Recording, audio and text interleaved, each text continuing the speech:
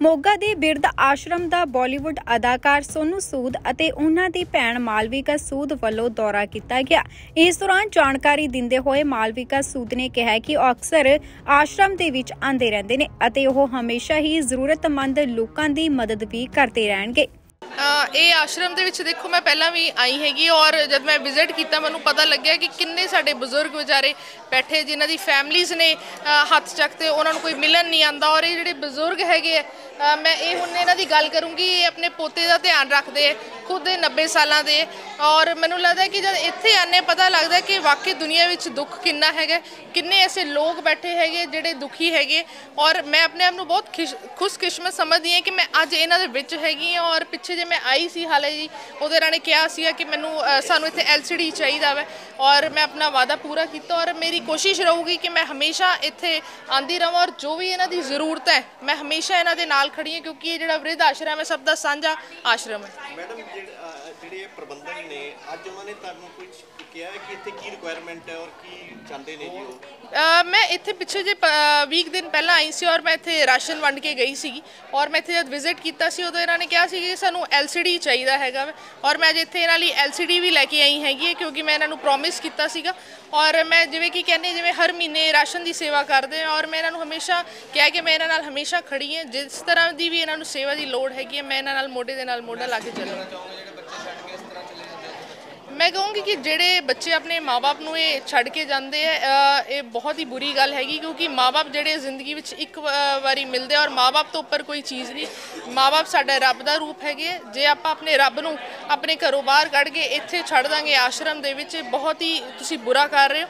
ਔਰ ਕਈ ਐਸੇ ਮਾਪੇ ਬੈਠੇ ਹੈਗੇ ਜਿਨ੍ਹਾਂ ਦੇ ਬੱਚੇ ਹੈਗੇ ਔਰ ਉਹਨਾਂ ਨੂੰ ਕਦੀ ਮਿਲਣ ਨਹੀਂ ਆਉਂਦੇ ਔਰ ਉਹ ਹਮੇਸ਼ਾ ਦਰਵਾਜ਼ੇ ਵੱਲ ਦੇਖਦੇ ਰਹਿੰਦੇ, ਸ਼ਾਇਦ ਅੱਜ ਸਾਡਾ ਬੱਚਾ ਮਿਲਣ ਆਊਗਾ। ਉਹਨਾਂ ਬੱਚਿਆਂ ਨੂੰ ਮੇਰਾ ਇਹੀ ਮੈਸੇਜ ਹੈ ਕਿ ਤੁਸੀਂ ਪਲੀਜ਼ ਆਪਣੇ ਆਪਣੇ ਮਾਪੇ ਦੀ ਸੇਵਾ ਕਰੋ, ਕਿਉਂਕਿ ਇਸ ਤੋਂ ਉੱਪਰ ਜਿਹੜੀ ਸੇਵਾ ਕੋਈ ਨਹੀਂ ਹੈਗੀ ਔਰ ਮੈਂ ਇਹਨਾਂ ਦੀ ਬੇਟੀ ਹਾਂ, ਮੈਂ ਹਮੇਸ਼ਾ ਇਹਨਾਂ ਕੋਲ ਐਵੇਂ ਹੀ ਆਂਦੀ ਰਹੂੰਗੀ ਔਰ ਇਹਨਾਂ ਨੂੰ ਐਵੇਂ ਮਿਲਦੀ ਰਹੂੰਗੀ। ਉੱਥੇ ਹੀ ਇਸ ਮੌਕੇ ਸੋਨੂ ਸੂਦ ਨੇ ਕਿਹਾ ਕਿ ਉਹ ਲੋਕਾਂ ਦੀ ਭਲਾਈ ਦੇ ਲਈ ਹਮੇਸ਼ਾ ਤਿਆਰ ਨੇ ਅਤੇ ਜੋ ਬਜ਼ੁਰਗ ਬੇਸਹਾਰਾ ਨੇ ਉਹਨਾਂ ਦੀ ਮਦਦ ਵੀ ਕਰਦੇ ਰਹਿਣਗੇ। ਇਸ ਦੇ ਨਾਲ ਹੀ ਸੋਨੂ ਸੂਦ ਨੇ ਕਿਹਾ ਕਿ ਉਹਨਾਂ ਦੀ ਭੈਣ ਚੋਣਾਂ ਲੜੇਗੀ ਤੇ ਜਲਦ ਹੀ ਉਹਨਾਂ ਦੇ ਵੱਲੋਂ ਪਾਰਟੀ ਦਾ ਐਲਾਨ ਵੀ ਕੀਤਾ ਜਾਵੇਗਾ। ਇਸੇ ਦੌਰਾਨ ਸੋਨੂ ਸੂਦ ਨੇ ਹੋਰ ਕੀ ਕੁਝ ਕਿਹਾ? ਆਓ ਸੁਣਦੇ ਹਾਂ। ਮੈਂ ਕੱਲ ਜਿਹੜਾ ਹਰ ਹੋਮ ਟਾਊਨ ਦੇ ਮਤਲਬ ਜੀ ਮੈਂ ਤੁਹਾਨੂੰ ਦੱਸ ਰਿਹਾ ਜਿਹੜਾ ਹਰ ਹੱਥ ਕਿਤਾਬ ਦੇ ਵਿੱਚ 1070 ਬੱਚੇ ਆ ਅ, ਜਿਹੜੇ ਹੈ ਸ਼ਾਰਟਲਿਸਟ ਹੋਏ ਨੇ। 1070 ਬੱਚੇ ਉਹਨਾਂ ਨੂੰ ਆਲਰੇਡੀ ਹਾਂਜੀ ਉਹਨਾਂ ਨੂੰ ਆਲਰੇਡੀ ਫੋਨ ਆਨੇ ਸ਼ੁਰੂ ਹੋ ਗਏ ਹੈ ਉਹਨਾਂ ਨੂੰ ਫੋਨ ਚਲੇ ਗਏ ਹੈ ਉਹਨਾਂ ਤੋਂ ਡਾਕੂਮੈਂਟੇਸ਼ਨ ਮੰਗੇ ਜਾ ਰਹੇ ਕਿਹੜੀ ਕਿਹੜੀ ਕਲਾਸ ਦੇ ਸਾਰੇ ਇੱਕ ਇੱਕ ਬੰਦੇ ਦੀ ਸਾਡੇ ਕੋਲ ਡਿਟੇਲਸ ਨੇ। ਔਰ ਅ, ਅ, ਕੋਸ਼ਿਸ਼ ਕਰਾਂਗੇ ਕਿ ਜਲਦ ਤੋਂ ਜਲਦ ਉਹਨਾਂ ਦੇ ਜਿਹੜੇ ਸੁਪਨੇ ਅਸੀਂ ਪੂਰੇ ਕਰ ਪਾਈਏ। ਕਿਹੜੇ ਸਕੂਲਸ ਨਾਲ ਟਾਈ ਅਪਸ ਹੋਇਆ ਸਰ ਕੋਈ ਸਕੂਲ ਪ੍ਰੋਪਰ ਹੈਗੇ ਇਹਦਾ ਟਾਈ ਅਪ ਜਿਵੇਂ ਅਸੀਂ ਅ, ਜੇ ਯੂਨੀਵਰਸਿਟੀਜ਼ ਦੀ ਗੱਲ ਕਰੀਏ ਜਿਵੇਂ ਸਿਟੀ ਯੂਨੀਵਰਸਿਟੀ ਹੈ ਅ, ਚੰਡੀਗੜ੍ਹ ਚ ਯੂਨੀਵਰਸਿਟੀਜ਼ ਨੇ ਉਹਨਾਂ ਨਾਲ ਐਸਵੀਆਈਟੀ ਹੈ ਯੂਨੀਵਰਸਿਟੀਜ਼ ਔਰ ਹੋਰ ਵੀ ਬੜੀਆਂ ਸਾਰੀ ਯੂਨੀਵਰਸਿਟੀਜ਼ ਨੇ।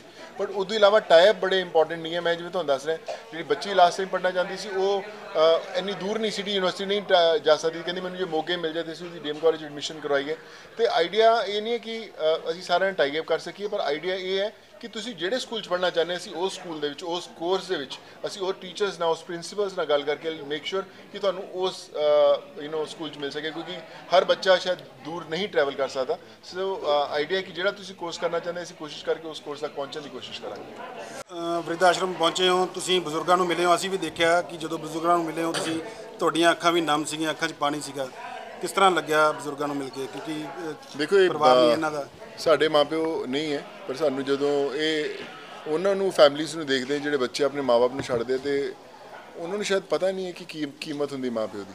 ਮਾਪਿਓ ਨਾਲ ਹੀ ਘਰ ਬੰਦੇ ਆ ਬੱਚਿਆਂ ਨਾਲ ਨਹੀਂ ਬੰਦੇ ਸਿਰਫ। ਔਰ ਅੱਜ ਜਦੋਂ ਐਸੇ ਆਸ਼ਰਮ ਆਉਂਦੇ ਆ ਤੇ ਮੈਂ ਉਹ ਲੋਕਾਂ ਨੂੰ ਸਾਰਿਆਂ ਨੂੰ ਸੈਲੂਟ ਕਰਦਾ ਜਿਹੜੇ ਇਹਨਾਂ ਲੋਕਾਂ ਦਾ ਧਿਆਨ ਰੱਖਦੇ ਐਂਡ ਆਈ ਥਿੰਕ ਇਹ ਬੜਾ ਇੰਪੋਰਟੈਂਟ ਮੈਸੇਜ ਹੈ ਸਾਰਿਆਂ ਨੂੰ ਕਿ ਜਿੰਨੇ 올ਡ ਏਜ ਹੋਮ ਦੇ ਵਿੱਚ ਤੁਸੀਂ ਹੋ, ਕਿਤੇ ਵੀ ਮਿਲਦੇ ਹੋ, ਤੁਸੀਂ ਖਾਸ ਕਰ ਵਰਿੱਧ ਆਸ਼ਰਮ 'ਚ ਮਿਲਦੇ, ਆ ਕੇ ਰੈਗੂਲਰਲੀ ਮਿਲਦੇ ਰਹੋ ਤਾਂ ਕਿ ਉਹਨਾਂ ਨੂੰ ਪਤਾ ਲੱਗੇ ਯਾਰ ਸਾਡੇ ਆਪ ਦੇ ਬੱਚਿਆਂ ਨੇ ਤਾਂ ਜਾਂ ਪਰਿਵਾਰ ਨੇ ਧਿਆਨ ਨਹੀਂ ਦਿੱਤਾ, ਪਰ ਸਾਡੇ ਮੈਨੂੰ ਨਵੇਂ ਬੱਚੇ ਮਿਲ ਗਏ ਨੇ, ਨਵੇਂ ਧਿਆਨ ਦਿੱਤੇ। ਜਿਹੜੀ ਜਿਹੜੀਆਂ ਤਕਲੀਫਾਂ ਨੇ ਅਸੀਂ ਦੇਖ ਰਹੇ ਸੀ ਹੁਣ ਕਿ ਇਹਨਾਂ ਦੇ ਸ਼ਾਇਦ ਸਮਾਨ ਰੱਖਣ ਦੀਆਂ ਕੁਝ ਪ੍ਰੋਪਰ ਅਲਮਾਰੀਆਂ ਨਹੀਂ ਹੈ। ਮੈਂ ਸੋਚ ਰਿਹਾ ਕਿ ਇਹਨਾਂ ਨੂੰ ਕੁਝ ਐਸੀ ਅਲਮਾਰੀਆਂ ਵਗੈਰਾ ਦਿੱਤੀਆਂ ਜਾਣ ਤਾਂ ਕਿ ਹੋਰ ਸਾਫ਼ ਸੁਥਰਾ ਬਣ ਸਕੇ ਇਹਨਾਂ ਨੂੰ ਐਟਮੋਸਫੇਅਰ ਇਹਨਾਂ ਨੂੰ ਧਿਆਨ ਰੱਖਿਆ ਜਾਵੇ ਕਿਵੇਂ ਸਮਾਨ ਦਾ ਧਿਆਨ ਰੱਖ ਸਕਦੇ ਆ ਆਈ ਥਿੰਕ ਇਹਨਾਂ ਨੂੰ ਕੋਲ ਟੀਵੀ ਨਹੀਂ ਸੀ ਤਾਂ ਮੈਨੂੰ ਲੱਗਦਾ ਕਿ ਹੁਣ ਖੂਬ ਯੂ نو ਜਿੰਨੇ ਭਜਨ ਵਗੈਰਾ ਸਭ ਦੇਖ ਕੇ ਇਹਨਾਂ ਦਾ ਅੱਛਾ ਟਾਈਮ ਪਾਸ ਹੋਊਗਾ। ਔਰ ਅਸੀਂ ਹੋਰ ਵੀ ਰਿਕੁਐਸਟ ਕਰਨਾ ਚਾਹੁੰਦੇ ਜਿੰਨੇ ਦਰਸ਼ਕ ਨੇ ਸਾਨੂੰ ਸੁਣ ਰਹੇ ਨੇ ਜਾਂ ਜਿਹੜੇ ਵੀ ਅ, ਆਸ਼ਰਮਸ ਨਾਲ ਇਹਨਾਂ ਨਾਲ ਕਨੈਕਟਡ ਨੇ ਕਿ ਕਿਸੇ ਤਰ੍ਹਾਂ ਦੀ ਕੋਈ ਵੀ ਤਕਲੀਫਾਂ ਨੇ ਸਾਨੂੰ ਪਲੀਜ਼ ਦੱਸੋ। ਵੀਲ ਮੇਕ ਸ਼ੋਰ ਕਿ ਅੱਜ ਇਹ ਇਹਨਾਂ ਨੂੰ ਕਦੀ ਇਹ ਲੱਗੇ ਨਾ ਕਿ ਇਹਨਾਂ ਦੇ ਪਰਿਵਾਰ ਨਹੀਂ ਹੈ। ਆਈ ਥਿੰਕ ਇਹਨਾਂ ਦਾ ਪਰਿਵਾਰ ਹੋਰ ਵੱਡਾ ਹੋਇਆ ਨਵਾਂ ਪਰਿਵਾਰ ਬਣਿਆ। ਸੋਨੂ ਜੀ ਕਈ ਪਰਿਵਾਰ ਕਈ ਬਜ਼ੁਰਗ ਇੱਥੇ ਇਹੋ ਜਿਹੇ ਨੇ ਜਿਨ੍ਹਾਂ ਦੇ ਪਰਿਵਾਰਾਂ ਨੇ ਉਹਨਾਂ ਨੂੰ ਛੱਡ ਦਿੱਤਾ ਹੈ। ਤੇ ਤੁਸੀਂ ਉਹਨਾਂ ਨਾਲ ਗੱਲਬਾਤ ਕੀਤੀ ਹੋਣੀ ਹੈ ਕਿਸ ਹਾਲਾਤ 'ਚ ਇੱਥੇ ਪਹੁੰਚੇ ਔਰ ਉਹਨਾਂ ਨੂੰ ਘਰੇ ਪਹੁੰਚਾਉਣ ਦੀ ਵੀ ਕੋਈ ਕੋਸ਼ਿਸ਼ ਕੀਤੀ ਜਾ ਰਹੀ ਹੈ?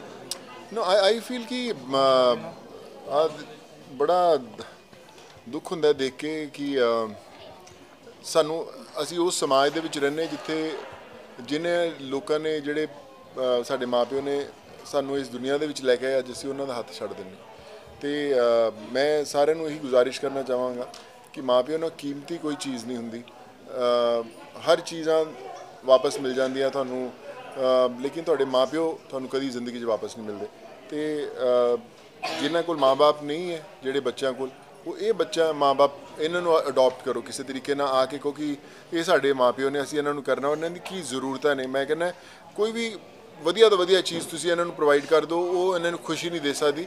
ਜੇ ਤੁਸੀਂ ਹਫ਼ਤੇ 'ਚ 10 ਦਿਨ 'ਚ, ਮਹੀਨੇ 'ਚ ਇੱਕ ਵਾਰ ਆ ਕੇ ਉਹਨਾਂ ਨੂੰ ਕਹਿ ਦਿਓ ਕਿ ਮੈਂ ਤੁਹਾਡੇ ਨਾਲ ਖੜਾ ਹੋਇਆ, ਇਹ ਮੇਰਾ ਨੰਬਰ ਹੈ, ਜਦੋਂ ਮੈਨੂੰ ਮੈਨੂੰ ਫੋਨ ਮਾਰ ਦਿਓ, ਦੇਖ ਲਿਓ। ਮੈਂ, ਮੈਨੂੰ ਪਤਾ ਨਹੀਂ ਇਹਨਾਂ ਨੂੰ ਕਿੰਨੇ ਨੂੰ ਫੋਨ ਕਿੰਨੇ ਨੂੰ ਲੋਡ ਹੁੰਦੀ ਹੈ, ਅਸੀਂ ਕੋਸ਼ਿਸ਼ ਕਰਾਂਗੇ ਇਹਨਾਂ ਨੂੰ ਫੋਨ ਦੇ ਦਈਏ ਤਾਂ ਕਿ ਬੈਠੇ YouTube ਤੇ ਅੱਜਕੱਲ ਲੋਕੀ ਬੜੇ, ਮੈਂ ਦੇਖਿਆ ਬਜ਼ੁਰਗ ਬੜੇ ਸਮਾਰਟ ਹੋ ਗਏ ਨੇ ਦੇਖਦੇ ਰਹਿਣ ਕਿ ਕਿਸ ਤਰ੍ਹਾਂ ਇਹਨਾਂ ਟਾਈਮ ਪਾਉਂਦਾ ਰਹੇ। ਮੈਨੂੰ ਲੱਗਦਾ ਕਿ ਉਹ ਕਰਨਾ ਬੜਾ ਜ਼ਰੂਰੀ ਹੈ, ਇੱਕ ਸਮੇਂ ਤੇ ਫੜਿਆ ਹੋਇਆ ਹੱਥ, ਜਿਹੜੀ ਉਹਦੀ ਤਾਕਤ ਹੈ, ਉਹ ਦੁਨੀਆ ਦੀ ਕੋਈ ਵੀ ਮਟੀਰੀਅਲਿਸਟਿਕ ਚੀਜ਼ਾਂ ਨਹੀਂ ਪੂਰੀਆਂ ਕਰ ਸਕਦੀ। ਸੋਨੂ ਸੂਦ, ਇਹਨਾਂ ਮਾਵਾਂ ਦਾ ਹੱਥ ਫੜੇਗਾ। ਮਾਵਾਂ ਦਾ ਹੱਥ ਫੜਿਆ ਹੋਇਆ ਇਹਨਾਂ ਦਾ ਹੱਥ ਨਹੀਂ, ਇਹਨਾਂ ਦਾ ਆਸ਼ੀਰਵਾਦ ਚਾਹੀਦਾ ਸਾਨੂੰ, ਵੱਡੇ ਬਜ਼ੁਰਗਾਂ ਦਾ ਆਸ਼ੀਰਵਾਦ ਚਾਹੀਦਾ। ਆਈ ਥਿੰਕ ਜੇ ਆਸ਼ੀਰਵਾਦ ਮਿਲ ਗਿਆ ਤਾਂ ਸਭ ਸਹੀ ਹੈ।